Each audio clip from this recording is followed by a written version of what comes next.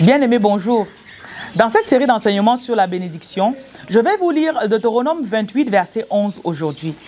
La Bible dit, L'Éternel te comblera de bien en multipliant le fruit de tes entrailles, le fruit de ton troupeau, le fruit de ton sol dans le pays que l'Éternel a juré à tes pères de te donner.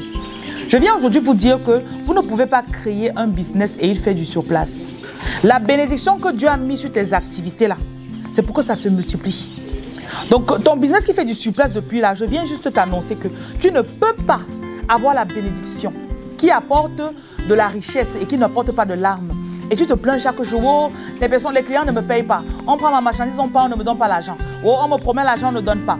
C'est impossible. Donc reprogramme-toi aujourd'hui et comprends que parce que tu es béni, tes activités vont toujours aller dans l'ordre croissant. Quelqu'un quitte de chez toi, il part, il fait deux semaines, il revient, ça a augmenté. Il quitte, il part, il fait un mois, il revient que quelque chose a augmenté. Ton magasin s'est élargi, c'est devenu encore plus beau. OK? Donc recevez la bénédiction aujourd'hui qui multiplie vos finances et votre business. Et répétez, mon business est béni et il se multiplie au nom de Jésus. Amen.